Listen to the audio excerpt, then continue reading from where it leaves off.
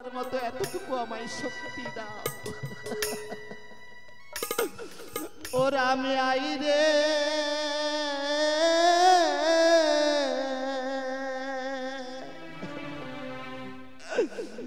I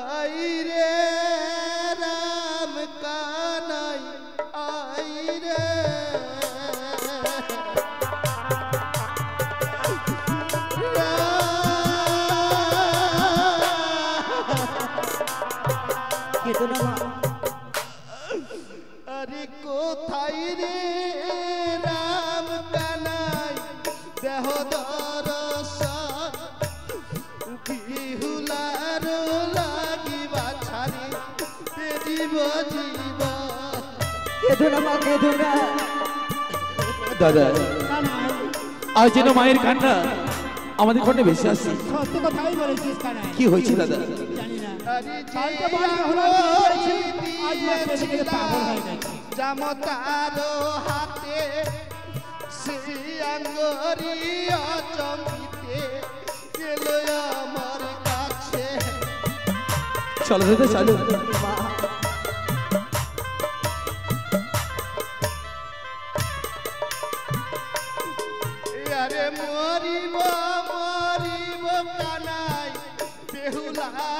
লাগি এই মুখ না দেখাইব উজানির বাসি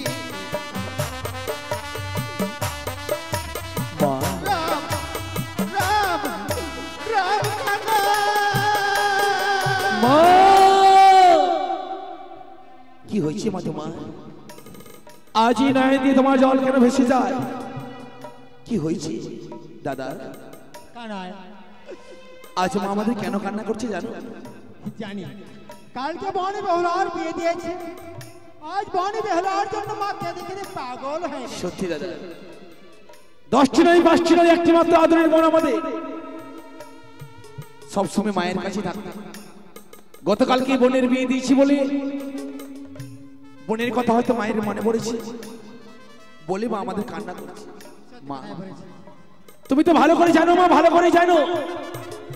আজকে আমাদের অষ্টমঙ্গ তাই বোনকে আমরা আনতে যাব। তাই সারা নিশি থেকে যে মেলনি তুমি তৈরি করেছ, তুমি কেন ভুলে যাচ্ছ হ্যাঁ মা। কারে নিয়ে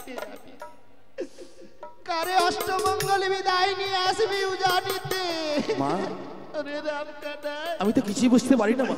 তোদের বলেছিলাম বাচ্চা আমার একমাত্র কন্যাকে তোরা সর্বকুমারে ঘরে বিবাহ। মা! মা? আমি যেন তোমার কথা কিছুই বুঝতে পারি না দাদা।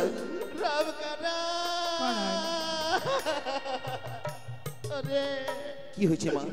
সব সব চলে গেল সুখ শান্তি সব। মা? পারবি? পারবি সাহায্য করতে? এই দেখ।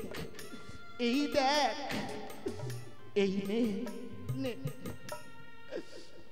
মা, এই লেখা তো আমাদের বোন বেহুলার হাতে লেখা।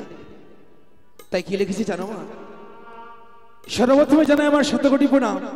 এই অভাগনীর প্রণাম তুমি গ্রহণ করে নিও তাই বিয়ে রাত্রে আমার কীভাবে কেটেছে বাসর ঘরে, এই পত্র মাঝে লিখে আমি পাঠিয়েছি তোমার কাছে। প্রথম পর রাত্রি গেল আমার বাসর দেখিতে, দ্বিতীয় পর রাত্রি গেল আমার পাশা খেলিতে। দাদা এ তো ভালো কথা লিখেছে।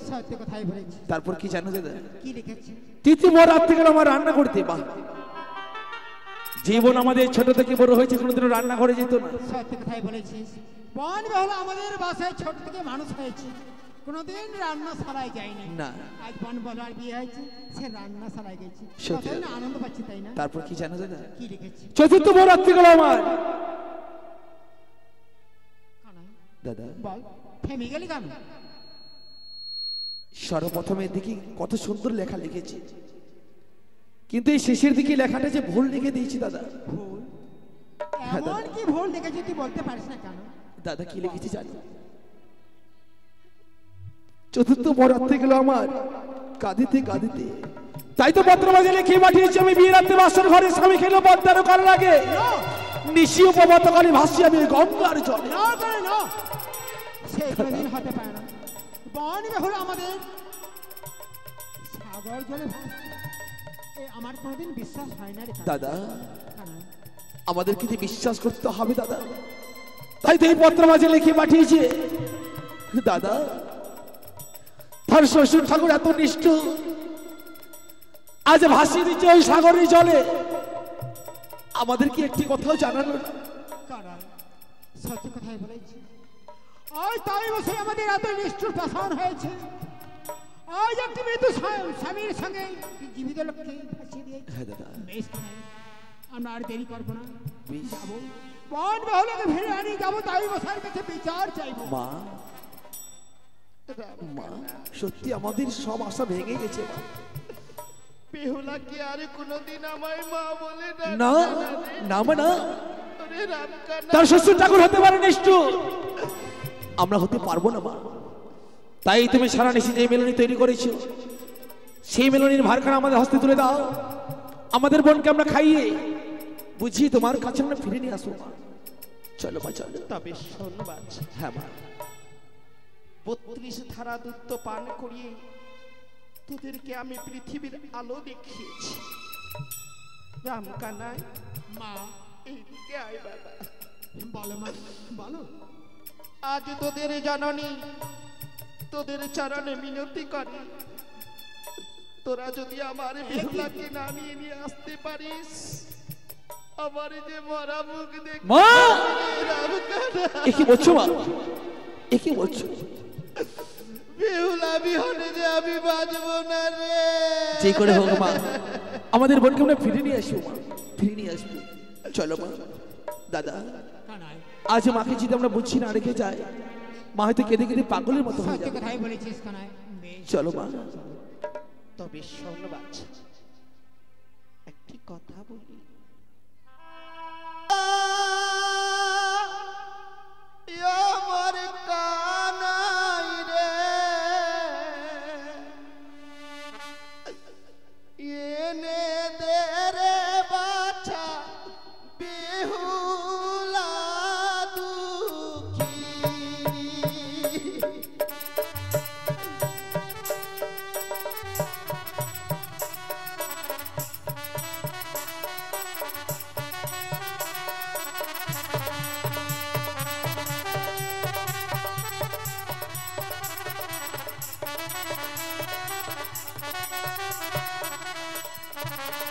aqui, ó.